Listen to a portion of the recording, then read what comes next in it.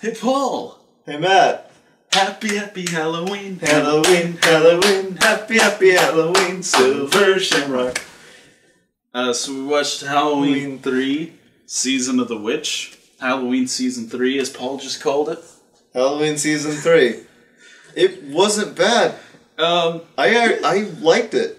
yeah. Um, I actually liked it more than the first Halloween movie. uh, I wouldn't go that far. Okay. Um, It has nothing to do with the other two movies. let me explain here, because after. John Carpenter hates sequels, even though he made Escape from LA. Halloween 2 is better than Escape from LA. He hates sequels, so he wanted after Halloween 2 for it to just be an anthology series of just like new horror movies every year based around Halloween. But 2 was already about Michael Myers. and people like Michael for some reason. I, He's such a good character. He's been such a good boy this year. Um, which is why. First off, they didn't make another Halloween for five more years after this. Really? And when they finally did, everything was of Michael Myers. It's like the return of Michael Myers, the curse of Michael Myers, and. Yeah. Oh, I can't remember what the sixth one's called. But it's something of Michael Myers. Um. But this is the This- only one to have nothing to do with the Halloween series. Well, there was a commercial for Halloween. What? Like Oh, they were yeah, in the barn. Yeah, so the Halloween one appears in the background at some point in this movie, and it's like a commercial for Halloween. So it's a fictional story inside of the universe of the fictional story. Yeah. All right. So the plot. I guess we should go over the plot. Yeah, it's like uh, this mask maker is making masks that will kill children on Halloween. Mm-hmm. And They've got this uh, advertising campaign to rival Illumination Entertainment. It's like every time a character turns on the television, it's the Silver Shamrock commercial. Yeah. Which, that was kind of weird symbolism for a Halloween movie. No, I think I think it's kind of fitting. Very reminiscent of like the Leprechaun movies. Is it? which I don't think haven't came out this. till like the nineties, but Yeah, you're right. um, They they use the power of the rocks from Stonehenge or some bullshit like that, mixed with Yeah. Celtic magic and computer chips. yeah, It gets a little bit convoluted there. That, that's why I wouldn't call this better than Halloween. oh, because the the first Halloween just had a really simple plot of a guy with a machete and a girl. There's a knife, and he choked. I think all but one of them to death. it's like the one guy he stabs. Well, I mean, yeah, Michael doesn't really need a reason to kill people, though. I think that's No. the point of them. They had a they had a straight up Bond villain in this movie. The mask Yeah. maker is totally a Bond villain. And in like the big science warehouse. And he has the whole scene where he's like actually explaining what his plot was and no, it, you didn't need that that character for this movie. Yeah, no. It There's I have problems with it. I think overall it's a pretty good horror movie, honestly. But there's there's some problems. yeah, I um the, yeah, you just didn't need that kind of villain in this movie. I think Yeah. you know, even you know, maybe to improve it, I wouldn't have even shown the villain. Like maybe show his face, just don't have him talk. Dr. Claw.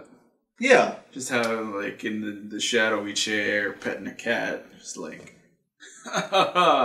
next time, Michael Myers. like most of the climax was like an action movie climax. Yeah. and then it goes back to like oh the twist ending and then it ends off kind of disappointing Yeah, I don't know how to feel about that because it's like so so it turns out um, he he gets back he destroys the factory the villain's dead oh shit spoilers uh, should we spoil this was we've said already that there are going to be spoilers in these videos. oh okay.